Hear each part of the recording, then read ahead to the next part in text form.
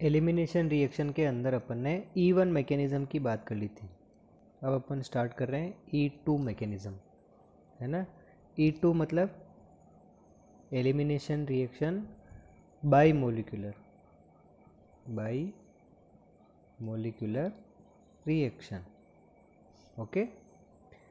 इसमें क्या होगा? एलिमिनेशन होना ही है वैसे भी।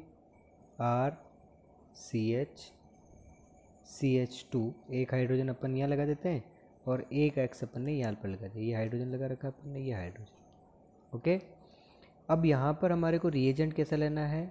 तो वो स्ट्रोंग बेस होना चाहिए। देखो, अगर वीक बेस होगा तो उस कंडीशन में हमारे को ईवन मैकेनिज़्म हो जाएगी और स्ट्रॉन्ग बेस होगा तो उस कंडीशन में क्या होगा? हमारा ई टू मैकेनिज़्म होगा। और प्रोडक्ट क्या मिलने वाला है? यहाँ से एक्स यहाँ से एच और क्या निकल जाएगा? R C H double bond C H two alkene बनेगा। ठीक है? और साथ में क्या निकल जाएगा? एच एक्स याद आ जाएगी बात? एक्स माइनस भी निकल सकता है। ठीक है? अब वह अभी अपन मैकेनिज्म देखेंगे, उसमें अपन देखेंगे साइड प्रोडक्ट क्या निकलने वाले हैं, क्या बनने वाले हैं। ठीक है भाई? तो ये है अपना एलिमिनेशन रिएक्शन अब इसकी मैकेनिज्म अपन देख लेते हैं। हेडिंग लगाइए मैकेनिज्म ठीक? अपने को इसको लिखना है आर सी एच, ये एक्स लगा दिया, ये लिख दिया मैंने सी एच टू ठीक है? और इस बार इस हाइड्रोजन को मैं नीचे ना लिख कर कहाँ लिख रहा हूँ मैं? ऊपर की तरफ़। उसके पीछे भी रीज़न है, अभी बताता हूँ मैं। ठीक है? अब यहाँ पर क्या होगा? स्ट्रॉन्ग बेस अपन ने ले रखा है तो वो कभी भी हाइड्रोजन के या एक्स के निकलने का वेट नहीं करेगा। इसका मतलब यहाँ पर किसी तरह का कोई कार्बोकेटाइन बनने वाला नहीं। ठीक है? कार्बोकेटाइन की फॉर्मेशन नहीं होगी। एक्स नहीं निकलेगा, उससे पहले ही क्या कर लेगा? स्ट्रॉन्ग बेस जो है वो अटैक कर लेगा। तो हमारे को क्या ले रहे हैं यहाँ पर? स्ट्रॉन्ग बेस यानी कि क्या ले लिया अपन ने? स्ट्रॉन्ग बेस मतलब बी नेगेटिव एच प्लस चाहिए उसको। है ना? और इसको मैं क्या लिख सकता हूँ? न्यूक्लियोफाइल भी हो सकता है, क्योंकि नेगेटिव चार्ज न्यूक्लियोफाइल है। ये न्यूक्लियोफाइल आ भी रहा है और एक न्यूक्लियोफाइल जा भी रहा है। ठीक है? लेकिन एलिमिनेशन हो रहा है, इसलिए अपन इसको एलिमिनेशन रिएक्शन के अंदर डाल रहे हैं। अगर ये एक्स की पोजीशन को जाकर गेन करता है तो ये सब्सटीट्यूशन रिएक्शन हो जाती ठीक है भाई? अब ये एच अपन ने ऊपर क्यों लिखा? ये एक्स को एंटी पोजिशन के पास में जाकर अटैक करेगा। इसलिए अपन ने क्या लिखा है इसको? एंटी पोजिशन में। तो एक्स नीचे की तरफ़ है तो ऊपर वाले एच को ये रिमूव करेगा। जब आप एग्ज़ाम्पल सोल्व करोगे तो ये आपके एंटी पोजिशन बहुत काम आने वाली है। ठीक है भाई? अब अपने को क्या करना है? B माइनस एक्स के निकलने का वेट नहीं करेगा। उससे पहले ही h को क्या करेगा? भैया तो अपने इलेक्ट्रॉन डोनेट करके और मेरे पास आ जाओ, क्योंकि मेरे पास पहले से क्या पड़े हुए हैं? इलेक्ट्रॉन पड़े हुए हैं। तो h क्या करेगा? यहाँ से अपने इलेक्ट्रॉन इस बॉन्ड की तरफ़ शिफ्ट कर देगा। अब जब इलेक्ट्रॉन बॉन्ड की तरफ़ शिफ्ट कर देगा तो भैया ये कार्बन कहेगा कि भैया मेरे पास तो एल्काइल पहले से पड़ा हुआ है, एक हाइड्रोजन है, एक एक्स माइनस है, एक मैंने कोवेलेंट बॉन्ड पहले से बना रखा है।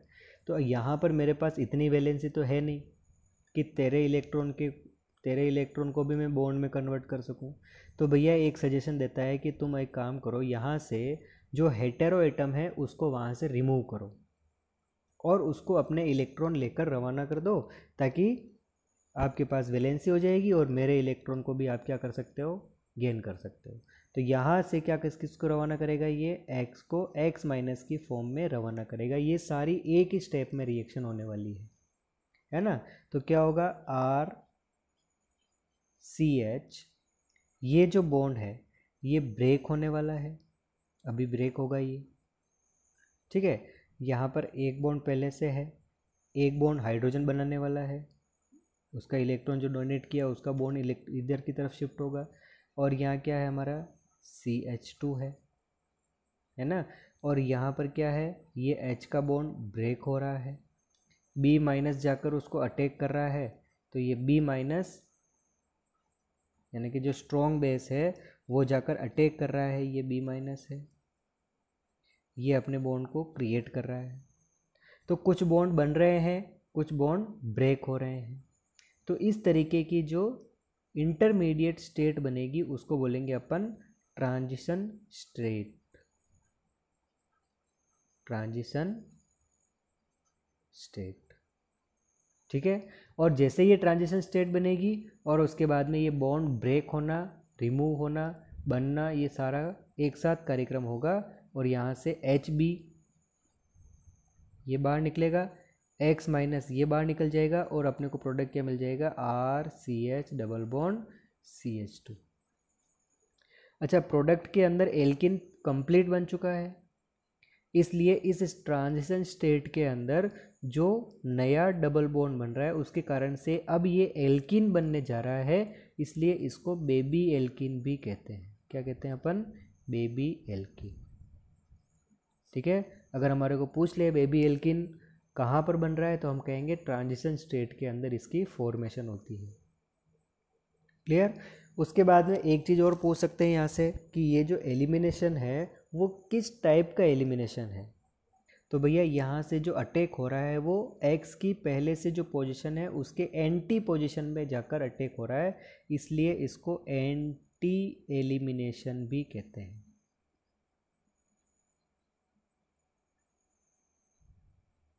कौन सा elimination anti elimination okay alpha beta है ही है एल्फ़ा बीटा एलिमिनेशन है। एल्फ़ा यहाँ से अगर इसकी अल्फ़ा पोजीशन पर है और बीटा से हाइड्रोजन निकला है तो एल्फ़ा बीटा एलिमिनेशन है। लेकिन अटैक कौन से पोजीशन से होगा? तो एंटी पोजीशन से इसका अटैक होने वाला है। ठीक है भाई? ये रिएक्शन उतार लीजिए। मैं इसके कुछ पॉइंट्स उतरवा देता हूँ। तो वो पॉइंट्स भी नंबर वाइज आप लोग नोट कर लीजिए। ठीक है भाई? ये एल्किन बन रहा है। मैं केवल ऊपर ऊपर से रब कर देता हूँ। और मैं पॉइंट्स लिखना स्टार्ट करता हूँ। ये मैकेनिज्म ऐसी एज इट इज़ लिखी हुई है अभी तो। फ़र्स्ट पॉइंट इस रिएक्शन के लिए पहला पॉइंट लिखिए। It is single step reaction कौन सी स्टेप रिएक्शन है? सिंगल स्टेप रिएक्शन ये कौन सी स्टेप रिएक्शन है? सिंगल स्टेप है। और अच्छा इस स्टेप के अंदर कहीं कार्बोकेटाइन आपको नज़र आ रहा है क्या? तो हम कहेंगे नो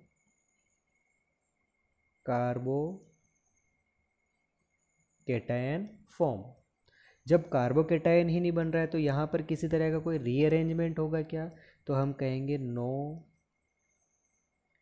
रीअरेंजमेंट टेक प्लेस याद रहिएगी बात। सेकंड पॉइंट लिखिए। अब ये जो रिएक्शन है, इस रिएक्शन के अंदर स्ट्रॉन्ग बेस जब आ रहा है, तब जाकर और एक्स का रिमूवल हो रहा है, यानी कि ये पूरी एक सिंगल स्टेप रिएक्शन है। और अगर अपन इन दोनों को छोटी छोटी स्टेप में अगर क्लासिफाइड किया तो उस कंडीशन में ये जो पहली वाली स्टेप है, ये स्लो स्टेप होगी और यही आर डी एस होगी, यानी कि रेट डिटरमाइनिंग स्टेप होगी।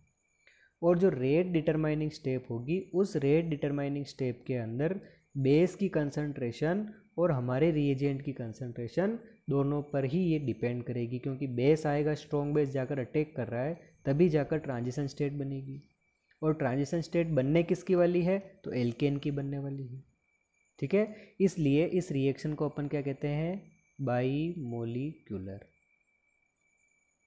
क्योंकि इस रिएक्शन की जो रेट है, वो रेट डिटरमाइनिंग स्टेप के अंदर आर एक्स जितनी कंसंट्रेशन में पार्टिसिपेट करता है, उतना का उतना बेस भी अपनी इम्पोर्टेंस रखता है। दोनों की कंसंट्रेशन है, इसलिए इस रिएक्शन का जो ऑर्डर निकल के आएगा, वो क्या निकल के आएगा? टू इसलिए अपन इसको क्या कह दिया? बाई मोलिकुलर रिएक्शन याद रह जाएगी बात? थर्ड पॉइंट लिखिए। इस रिएक्शन के लिए हमारे को स्ट्रोंग बेस की रिक्वायरमेंट रहेगी। कौन से बेस की? स्ट्रोंग बेस अब स्ट्रॉन्ग बेस कौन कौन से आपको नज़र आने वाले हैं? तो एक तो आपको एल्कोहलिक के तो दिखेगा ही दिखेगा। एक आपको एल्कोहलिक एन नज़र आएगा ही आएगा। ठीक है? ये दोनों अगर आपको नज़र आ गए, इसका मतलब ई टू मैकेनिज़्म होने वाली है।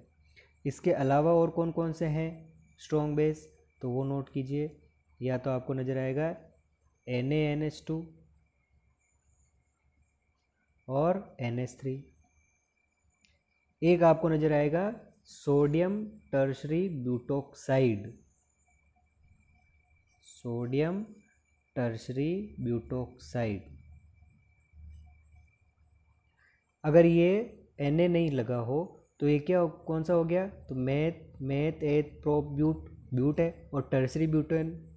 और ओ OH लगा है तो टर्सरी ब्यूटेनॉल। एच को हटा के एन लगा दिया तो इसका नाम क्या हो गया? Sodium tertiary butoxide. ठीक है? और कौन कौन से हैं? ये एक स्पेशल रिएजेंट है है ना? स्पेशल रिएजेंट क्यों है? क्योंकि ये किसी रिएक्शन के अंदर, आप एग्जांपल्स वगैरह देखना बुक के अंदर तो किसी एग्जांपल्स के अंदर ये सेट जेफ को मेजर नहीं बनने देता है, क्योंकि ये बहुत ज़्यादा स्टेरिक है और स्टेरिक का अटैक जो है वो कार्बन की एंटी पोजिशन पर ही होगा हमेशा। है ना? तो स्टेरिक के कारण से स्टेरिक हिंड्रेंस वगैरह ये थोड़ा सा हायर क्लासेस के अंदर या हायर अपन कहें कि नीट जेई मेंस वगैरह की तैयारी में अपने ये काम आता है। ठीक है भाई? आपके बोर्ड बोर्ड के अकॉर्डिंग इतना डिफ़िकल्ट नहीं पूछेंगे आप लोगों को, फिर भी आप लोग एग्ज़ाम्पल सर्च करना ढूंढ लेना। ठीक है भाई? एक आपको मिलता है alkoxide R O R O मतलब सी एस थ्री लगा दो C two H five O लगा दो तो है ना? मेथोक्साइड एथोक्साइड ये सारे इसमें आ जाएँगे। तो आर ओम नेगेटिव भी अगर लिखा हो तो वो भी आपको किसमें आएगा? स्ट्रॉन्ग बेस की कैटेगरी में आने वाला है। ठीक है? तीन पॉइंट के बाद में आप पॉज करके उतार लेना इसको। तीन पॉइंट के बाद में फोर्थ पॉइंट लिखिए।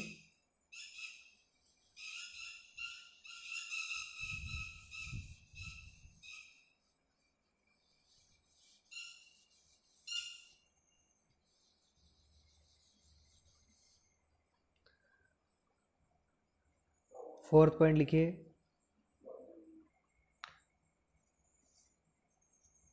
Transition state. इसके अंदर जो ट्रांजिशन स्टेट है वो क्या है? हमारी बेबी एल्किन। और बेलबी एल्किन जितना ज़्यादा स्टेबल होगा, इस रिएक्शन की रेट उतनी ही ज़्यादा होगी तो rate of E e two उतनी ही ज़्यादा होगी। ठीक है? इसकी स्टेबिलिटी के ऊपर डिपेंड करेगा। और बेबी एल्किन यानी कि एल्किन कब ज़्यादा स्टेबल होगा, ये अपन पहले से डिस्कस कर चुके हैं कि मोर सब्सटीट्यूटेड अगर हमारे को नज़र आ जाए, या हम कहें कि मोर क्राउडेड एल्किन अगर वो है तो वो स्टेबल होगी। मोर सब्सटीट्यूटेड वाली एल्किन हमेशा क्या होगी? एल स्टेबल होने वाली है। है ना? तो इस रिएक्शन के लिए भी अगर अपन कहें तो इस रिएक्शन की स्टेबिलिटी थ्री डिग्री की सबसे ज़्यादा, उसके बाद में टू डिग्री उसके बाद में वन डिग्री तो ई e वन की भी यही थी ई e टू की भी यही थी। भाई एस एन वन और एस एन टू में ये डिफरेंट हो सकता है।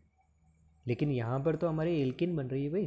तो एल्किन की स्टेबिलिटी ज़्यादा होगी तो ऑब्वियस सी बात है ई टू मैकेनिज्म भी ज़्यादा होगी। इसका मतलब ई e टू की स्टेबिलिटी यानी कि रिएक्शन करने की रेट ई टू में three degree is greater than two degree two degree is greater than one degree ऐसा का ऐसा हमारे को किसमें नज़र आया था? ई वन के अंदर। और सेम यही अपने को किसमें नज़र आया था? एस एन वन के अंदर। यानी कि ई वन ई टू और एस एन वन में हमारे को सेम कैटेगरी मिलने वाली है। और एस एन टू की अगर अपन बात करें तो एस एन टू में हमारे को वन डिग्री टू डिग्री और थ्री डिग्री इस तरीके का हमारे को पैटर्न मिलने वाला है। तो वो डिपेंड करेगा कंडीशंस के ऊपर। आप लोगों ने इसकी मैकेनिज्म भी पढ़ी है। ठीक है? नेक्स्ट पॉइंट फिफ्थ लिखिए एंटी एलिमिनेशन एंटी एलिमिनेशन यानी कि यहाँ पर जो एलिमिनेशन होगा, वो कैसा होगा? एंटी पोजिशन से होगा। क्लियर सिक्स पॉइंट लिखिए। हमारे को जो सॉल्वेंट मिल यूज़ में लेना है, वो सॉल्वेंट कैसा होना चाहिए? पोलर ए प्रोटिक कौन सा होना चाहिए? पोलर ए प्रोटिक पोलर मतलब? उसके अंदर पोलरिटी होगी। तभी तो जाकर वो एक्स माइनस के बॉन्ड को तोड़ पाएगा। यहाँ पर एक्स को निकालना है एक्स माइनस की बॉन्ड पे। तो इस बॉन्ड को तोड़ने के लिए पोलरिटी जनरेट करनी पड़ेगी और पोलरिटी के लिए अपन ने सॉल्वेंट ले रखा है।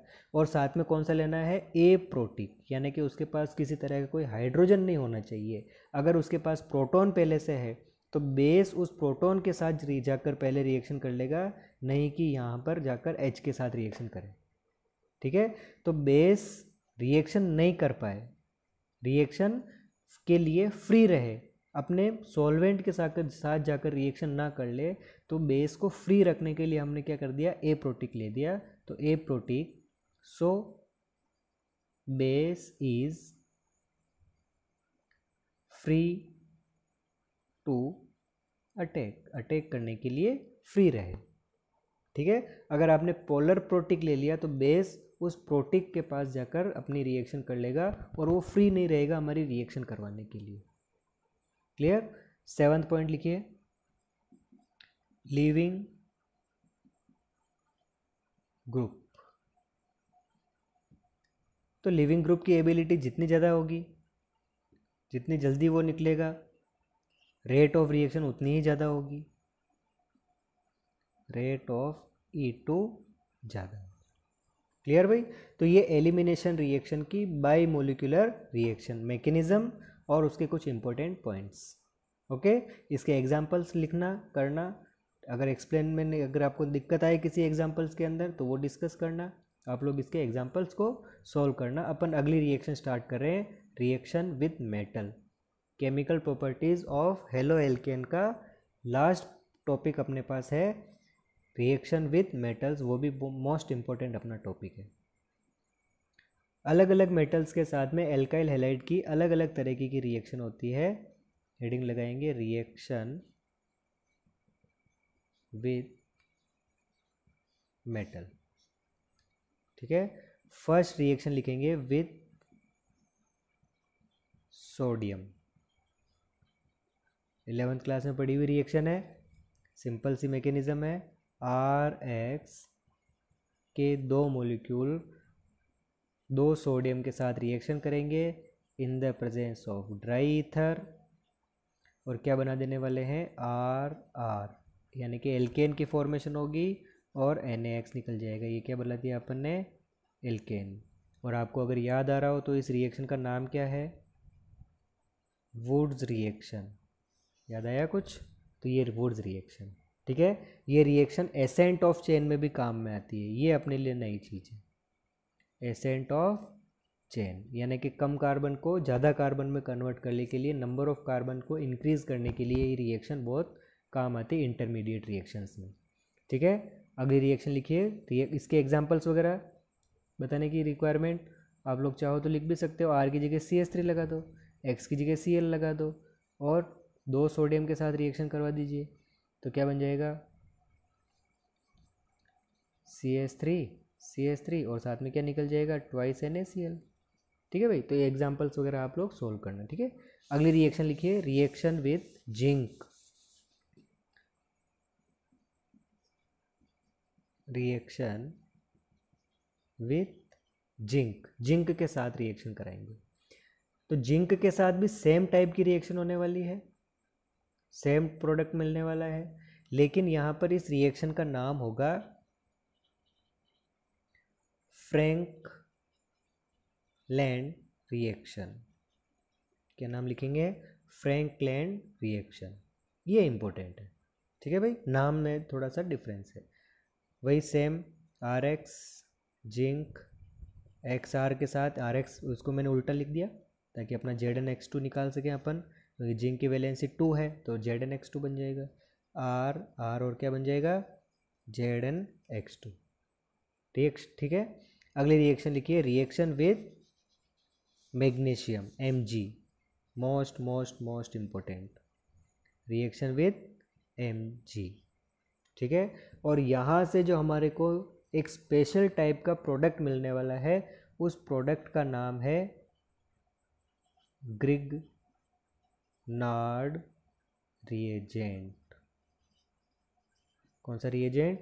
Grignard reagent. इसके लिए इस ग्रिगनार्ड नाम के साइंटिस्ट को नोबेल प्राइज़ भी मिला हुआ है। ठीक है?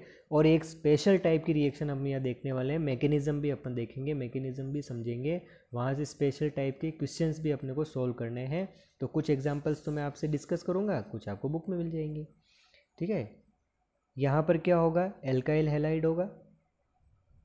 मैग्नीशियम होगा और ड्राई ईथर होगा। यहाँ तक की कहानी तो सब सेम चलती हुई आ रही है। अब थोड़ा सा डिफरेंस क्या होगा कि ये आर एक्स का जो बॉन्ड है, इस बॉन्ड में घेप आएगा और घेप आकर एम मैग्नीशियम बीच में चला जाएगा। तो ये बना देगा आर एम जी एक्स इसका नाम है एल्काइल मैग्नीशियम हेलाइट और वो हेलाइड कौन सा लेते हो? उसके ऊपर डिपेंड करेगा। जैसे मैंने यहाँ पर सी एस थ्री ले लिया। एक्स में सी एल ले लो ब्रोमीन ले लो बी आर ले लिया। मैग्नीशियम के साथ रिएक्शन होगी। ड्राई ईथर की प्रेजेंस में तो क्या बन जाएगा? C S three M G B R नाम क्या हो जाएगा? Methyl magnesium bromide methyl magnesium bromide ठीक है? रिएक्शन होता रहो मैकेनिज्म डिस्कस करते हैं। इस रिएक्शन की मैकेनिज्म भी इंपॉर्टेंट है भाई, है ना? क्योंकि मैकेनिज्म से आप लोगों के कुछ क्वेश्चंस हो सकता है इस साल सोल्व हो गए, हो सकता है जेई मेंस में आप लोगों के काम आ जाए तो इसकी मैकेनिज्म भी आप लोग समझ लीजिए, ठीक है? देखिए क्या मैकेनिज्म है।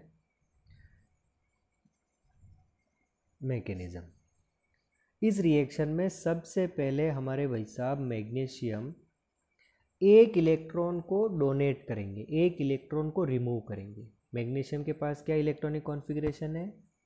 Two A two. एक इलेक्ट्रॉन अगर इसने डोनेट किया तो क्या चार्ज आया? प्लस। और इसके वैलेंस शेल में अभी एक इलेक्ट्रॉन और बाकी चल रहा है। ठीक है? बहुत सारे बच्चों के माइंड में आएगा कि ये मैग्नीशियम एक इलेक्ट्रॉन ही क्यों निकाल रहा है? स्टेबल होने के लिए तो दो चाहिए। तो भैया, पहले रिएक्शन होती है, फिर उसकी मैकेनिज़्म बनती है। तो जो रिएक्शन हुई है, उसके अकॉर्डिंग अपन मैग्नीशियम की और वैलेंसी को चेक करें या उसकी मैकेनिज़्म को चेक करें तो मैग्नीशियम एक ही इलेक्ट्रॉन को रिमूव कर रहा है।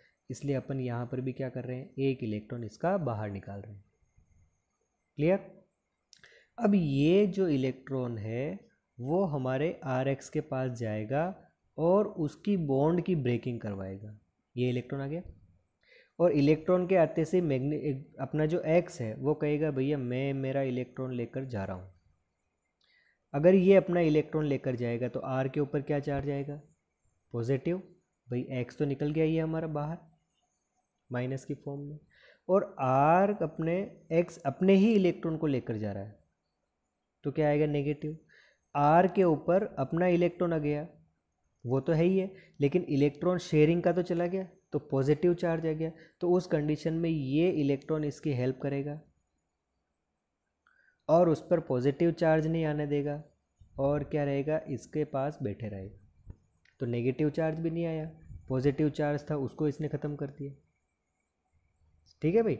तो उस कंडीशन में आर के ऊपर क्या आ गया? रेडिकल तो ये बन गया एनाइन ये हो गया रेडिकल अब नेक्स्ट स्टेप के अंदर क्या होगा? ये रेडिकल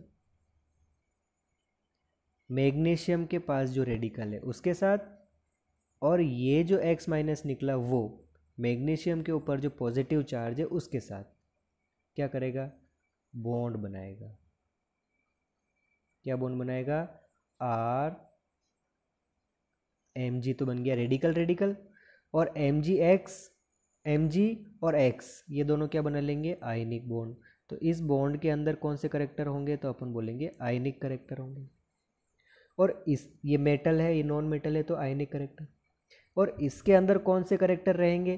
तो रेडिकल रेडिकल के बीच में बन रहा है तो वो अपने को नज़र आ रहा है कि इसके अंदर कोवेलेंट करेक्टर हमारे को नज़र आने वाले हैं। ठीक है? कोवेलेंट करेक्टर लेकिन साथ ही साथ यहाँ पर ये मेटल भी है नॉन मेटल भी है तो हमारे को आयनिक करेक्टर्स भी नज़र आने वाले हैं, यानी कि इसके अंदर 50 परसेंट कोवेलेंट करेक्टर और 50 परसेंट कौन से character? Ionic character.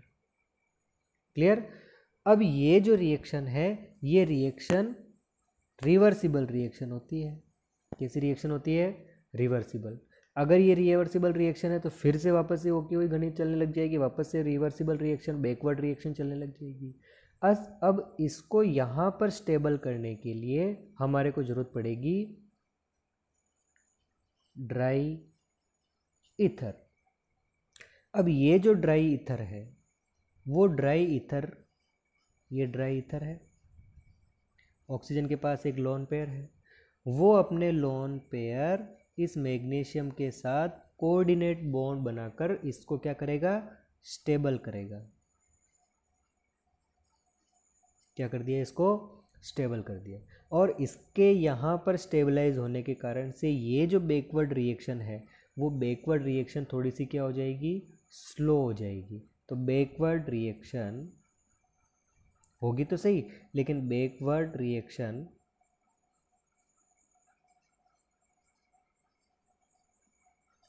slow down backward reaction कैसे हो जाएगी? स्लो हो जाएगी। क्लियर बात है? ये मैकेनिज़्म राइट डाउन कीजिए और इसके क्या यूज़ हैं? बाकी नॉर्मल रिएक्शन जैसी अपनी होगी, वैसी की वैसी चलती रहेगी। इसका क्या यूज़ है? उसको अपन एक रिएक्शन से समझते हैं, वो मैं निकलवा देता हूँ। ठीक है? इसको यहाँ तक नोट करो। फॉर एग्ज़ाम्पल अगर हमारे को ये कोई रिएजेंट दिया, है ना बेंजिन दे दिया, और उसके ऊपर लगा दिया सी एच टू और ये लगा दिया मैंने बी आर अब इसकी रिएक्शन दे दिया आपको मैग्नीशियम ड्राई इथर की प्रेजेंस में आपको रिएक्शन करवानी है। तो आप जब रिएक्शन करवाओगे तो सिंपल सा जहाँ पर भी आर और एक्स के बीच में बॉन्ड है, उन दोनों के बीच में मैग्नीशियम को लगा दोगे और रिएक्शन क्या कर लोगे? कंप्लीट लेकिन साथ ही साथ यहाँ पर और भी बहुत सारे प्रोडक्ट बनने वाले हैं और वो कौन कौन से बनने वाले हैं तो भैया देखिए। ये ब्रोमीन टूटेगा। सी एच टू के ऊपर फ्री रेडिकल आने वाला है। आर के ऊपर फ्री रेडिकल था। तो ये लगा दिया अपन, अपने सी एच टू के ऊपर free radical as it is अब जब कभी भी सी एच टू के ऊपर फ्री रेडिकल है और नीचे अगर बेंजिन रिंग है तो क्या होने वाला है? कॉन्जुगेशन रेजोनेस रेजोनेटिंग स्ट्रक्चर्स बनेगी।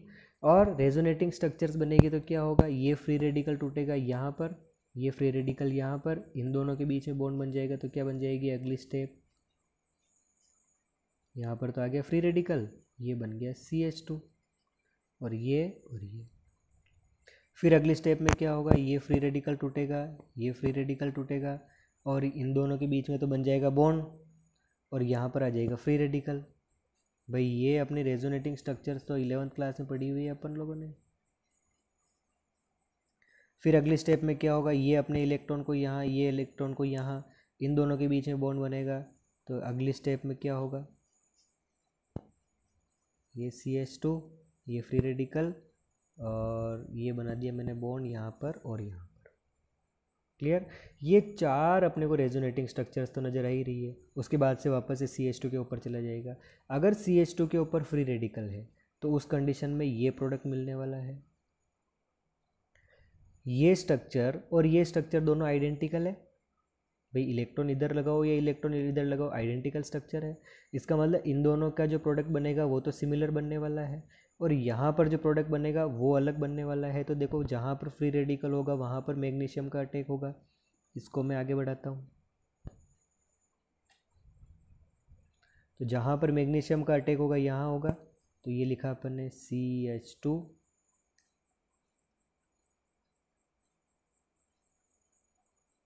और लगा दिया मैंने मैग्नीशियम और बी आर ठीक है भाई? ये डबल बॉन्ड ये डबल क्लियर अब देखो, इस कार्बन की वैलेंसी यहाँ पर कितनी है? वन टू थ्री इसका मतलब यहाँ पर एक हाइड्रोजन और भी प्रेजेंट है। और इस हाइड्रोजन के अंदर अगर होमोलाइटिक क्लीवेज हो तो उस कंडीशन में यहाँ पर फ्री रेडिकल होगा। और यहाँ पर फ्री रेडिकल के कारण से यहाँ पर भी फ्री होमोलाइटिक क्लीवेज होगा तो ये बॉन्ड भी हटेगा। आप लोग इसको अलग से स्टेप में उतार लेना भले। है ना? अलग से एक एक एक और स्टेज बना लेना, एक और स्टेप बनाओ। ठीक है? अब क्या होगा? यहाँ पर ये सी एच टू ये फ्री रेडिकल यहाँ, और ये बॉन्ड टूटा तो यहाँ पर फ्री रेडिकल ये वाला पहले से, ये बनाया मैंने एम जी बी आर तो इन दोनों के बीच में बॉन्ड बनेगा तो ये बॉन्ड ये बॉन्ड ये बॉन्ड अब ये हाइड्रोजन है, ये अपने फ्री रेडिकल को लेके बैठा हुआ पहले से, इन दोनों ने बॉन्ड बनाया, इसका तो फ्री रेडिकल मैं मिटा ही देता हूँ। इस हाइड्रोजन का फ्री रेडिकल और ये सी एच टू आपस में बॉन्ड बनाएँगे तो क्या बन जाएगा फिर से अगली स्टेप में? ये बेंजिन ये एम जी बी आर और ये बना दिया सी एच थ्री तो बताओ, ये तो अपन ने सोचा भी नहीं था, फिर भी ये कंपाउंड बन। बना ठीक है तो ये हो गया फ़र्स्ट ये हो गया सेकंड ये और ये यहाँ पर फ्री रेडिकल से बनाएगा, वो भी सेम बनेगा। और इसके फ्री रेडिकल से जो प्रोडक्ट निकल के आएगा, वो क्या निकल के आएगा हमारा? फिर से वापस एम जी बी आर लगेगा। फिर यहाँ मैंने एम जी बी आर लगा दिया। यहाँ पर ये हाइड्रोजन ये double bond C H two ये डबल बॉन्ड ये डबल बॉन्ड इसका होमोलाइटिक क्लीवेज होगा तो इसका फ्री रेडिकल इसके पास, इसका फ्री रेडिकल इसके पास। फिर इसके फ्री रेडिकल के कारण से यहाँ पर क्लीवेज होगा तो ये फ्री रेडिकल यहाँ पर फ्री रेडिकल फिर यहाँ पर फ्री रेडिकल क्लीवेज होगा तो ये फ्री रेडिकल ये फ्री रेडिकल इन दोनों के बीच में बॉन्ड बनेगा तो ये, इन दोनों के बीच में बॉन्ड बनेगा तो ये। और ये हाइड्रोजन जाकर इस सी एच टू के साथ जाकर अटैच होगा तो ये लगा दिया अपन ने सी एच थ्री तो प्रोडक्ट नंबर कौन सा हो गया ये? थर्ड याद रह जाएगी बात? तो एक प्रोडक्ट नहीं बन रहा कितने प्रोडक्ट बन रहे हैं? वन टू और थ्री ये अपने को कैसे पता चला? ये हमारे को मैकेनिज्म लिखने से पता चला। याद रह जाएगी बात? अब एक क्वेश्चन आप लोगों के लिए इसको राइट डाउन कीजिए, साथ के साथ उतारते जाओ। है ना भाई? पॉज करके भी उतार सकते हो। ये इसके अलग अलग स्टेप्स लिखना, उससे भी अपने को पता चलेगा। तो मैकेनिज्म अगर अपने को ध्यान रहेगी तो रिएक्शन भी अपन करवा सकते हैं। ठीक है? एक रिएक्शन और लिखो।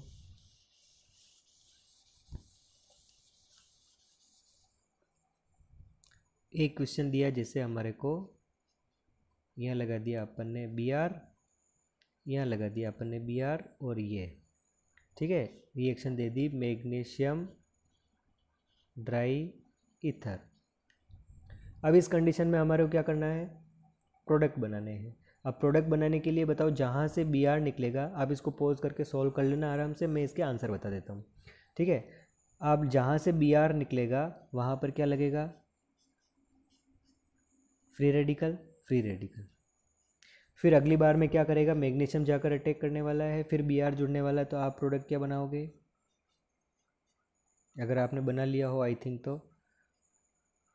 M G B R M G B R जिन जिन ने ये प्रोडक्ट बनाया, वो उनका ये प्रोडक्ट क्या हो गया?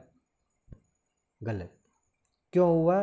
तो देखो, ये फ्री रेडिकल है, ये फ्री रेडिकल है इन दोनों में से कोई एक बॉन्ड अगर अपना होमोलाइटिक क्लीवेज कर ले तो ये क्या बन गया? फ्री रेडिकल और उस कंडीशन में इन दोनों फ्री रेडिकल के बीच में बॉन्ड बनेगा तो ये, और इन दोनों के बीच में बॉन्ड बनेगा तो ये.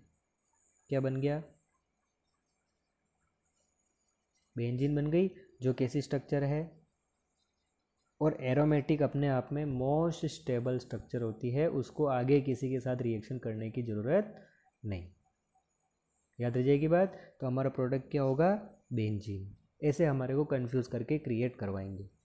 क्लियर अगली रिएक्शन लिखो reaction with lithium last reaction है। Reaction with lithium reaction with lithium lithium के साथ हमारी सिंपल रिएक्शन है। R X plus L I dry ether इसकी प्रेजेंस में रिएक्शन होगी और क्या बनेगा? R L I plus L I X बार निकल जाएगा। ठीक है? अब यहाँ से आगे अपने जो रिएक्शन चलने वाली है आर एल आई तक तो सिंपल रिएक्शन है। लेकिन इस आर एल आई की फिर से जब अपन रिएक्शन करवाएँगे सी यू आई ठीक है? तो हमारे को एक रिएजेंट एक प्रोडक्ट मिलेगा, जिसका नाम है डाई एल